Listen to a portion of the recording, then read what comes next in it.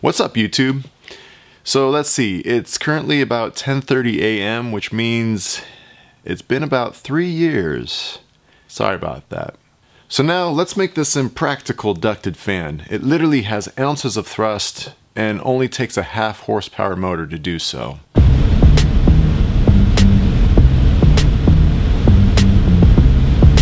As most of this project was 3D printed, I started off in Fusion 360. I find starting on the computer helps me work out my measurements and design, even for the wooden parts. It was a lot of 3D printing. I probably went through a spool and a half of filament. I used PETG because it's a little more heat resistant and flexible than PLA, which seems desirable since I have spinning blades and a motor that may get warm. Once all the parts were printed, it was a lot of sanding to smooth the blades. I did a couple of tests, and I decided to use Gorilla Glue. It seemed like a really strong glue with PETG.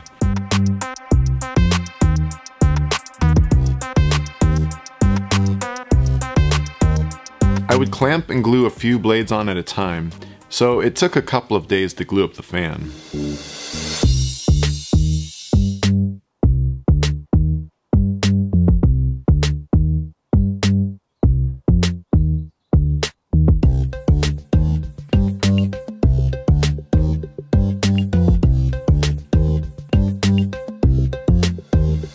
Gorilla Glue likes to foam and work its way out of the gaps, so I cleaned it up with the razor blade, chisel, and sandpaper. Of course, once I had it all together, I had to throw it on the motor just to see how it felt.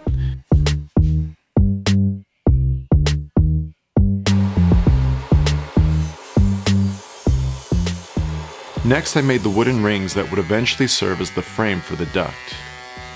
I put a thin kerf blade on my saw and resawed some cheap Douglas fir. I ran it through the planer and made a huge mess.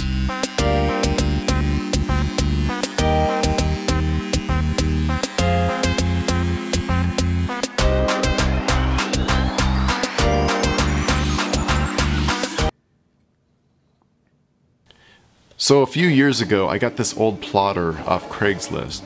It's really slow, but it's awesome for printing out big templates. The cat is like, Are you building stuff out here? The design has eight segments to form the wooden rings. I set up a stop on my miter saw so I could have consistency. I laid the segments directly on the template the first ring I glued in place piece by piece. I used a pin nailer to help hold the wood in place. Some of the pins went through to the workbench, but since they have no head on them, they are easily pulled out afterwards. I have some homemade lead weights that helped hold everything down, but as you can see, I had some gaps in the lamination. So on the second ring lamination, I glued the segments into three rings first, and then laminated everything together. I put in some more pin nails and stacked on a lot of weight this time to really help it clamp down. The second ring came out better.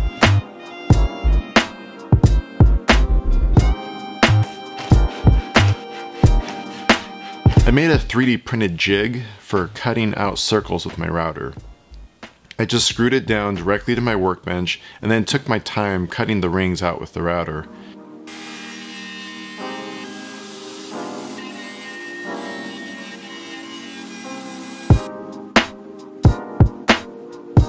Once I had the inner ring pretty close, I took some measurements off my drawings and marked where my final pass needed to be.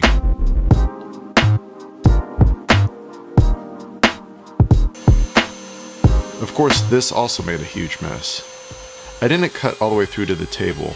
I used a router bit with a follower bearing to clean up the last 16th of an inch or so, but somehow I lost this footage. I used this thin 2.7 millimeter plywood you can get from Home Depot and ripped it into strips of 13 and a half inches wide. And then I started wetting it down.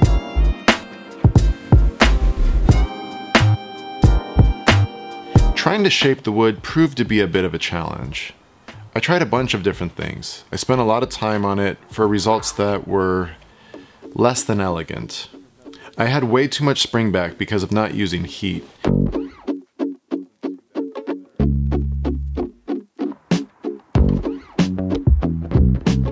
Wood also wanted to fold at weak points, so I tried wrapping it on itself for support. None of this worked well.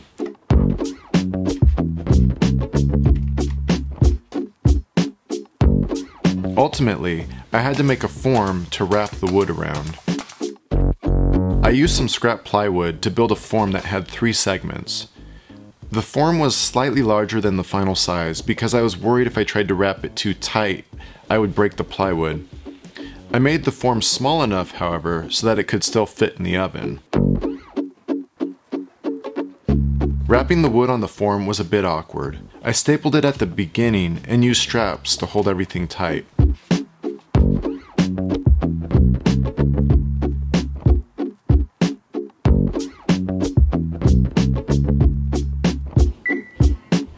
I then set the oven to 330 degrees. I wasn't exactly sure what a good temperature would be. I experimented a bit here and found if it gets really hot, you'll have almost no spring back, but you may burn the wood. I also tried putting the wood into the oven without a form, just wrapped around itself, but that was a failure. In the end, I got decent results using the form with 300 degrees for about 30 minutes.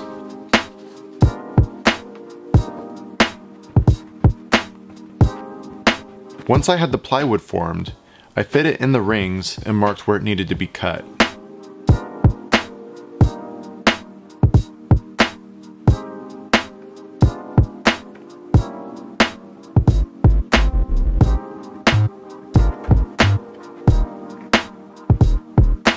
The fit in the rings was pretty close. There was a little bit of a gap. To check the fit, I clamped everything in place before gluing. And of course, I had to see how the fan would fit in. I glued and clamped the front ring first.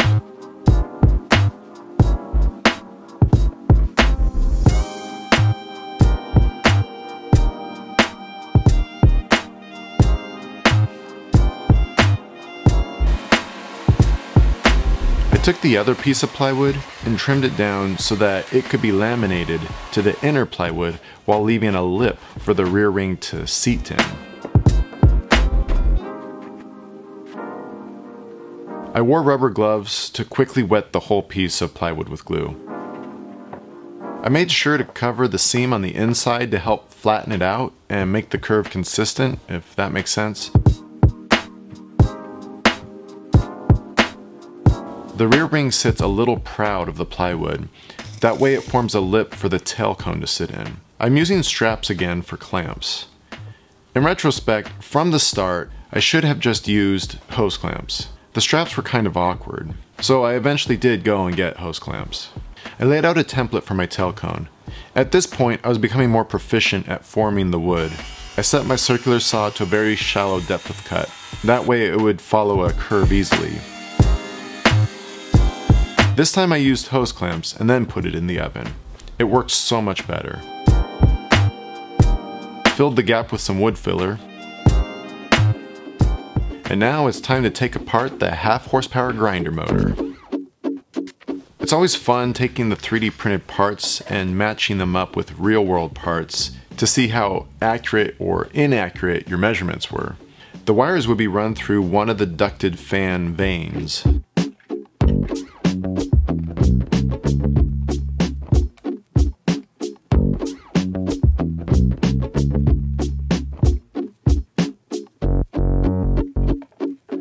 I took a lot of time in designing the plastic parts.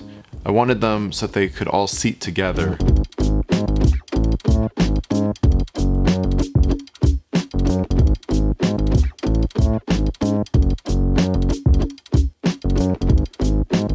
I marked the inside of the duct to find where to drill the holes for the vanes.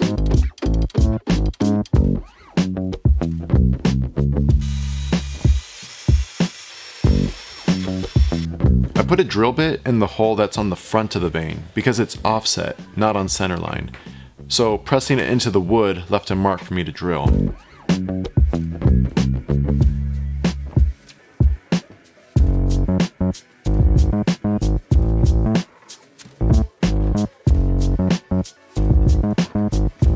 Threaded rods thread into the plastic parts, run through the vanes, and are bolted from the outside.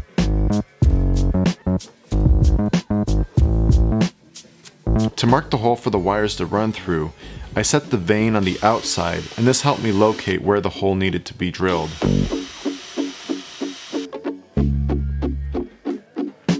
Once I had the wires fished through, I got rid of the little plugs on the motor and soldered the capacitor and the main wires to the outside.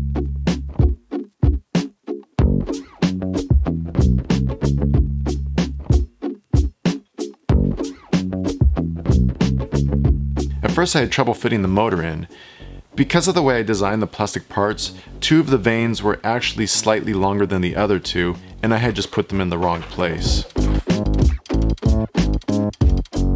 Once they were placed correct, everything went together just fine. I put nuts and washers on all the threaded rods and then tightened the rods into the plastic with vice grips.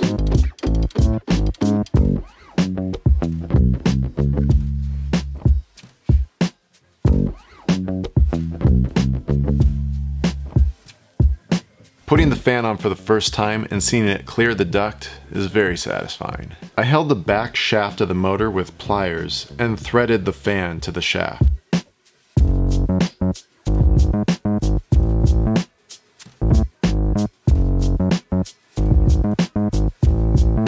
The plastic motor tail cone just clips on.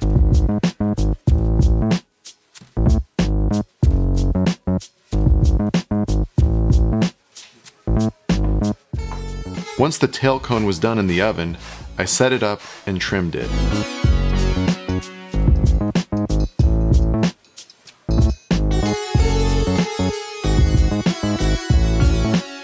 I glued a piece of wood to the seam because it had spring back. Once finished, it held its cone shape well. The cone fit pretty well and it stays in place by friction fit.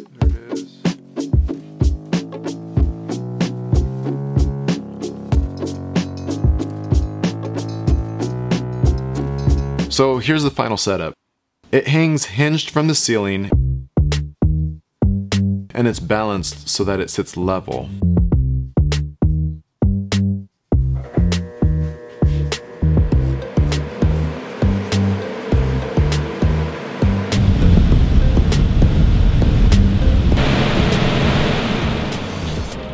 And that's pretty much it. So why did I build this fan? I actually built it to do some tests, you know, calculate thrusts, power consumptions, calculate speeds, and figure out the math behind it. But we'll save that for the next video. See you in three years, YouTube. Just kidding. We'll do it in, let's say a week, or maybe a month, eventually. Right, let's have heart to heart. It's gonna be a month. I feel like I just lied to YouTube.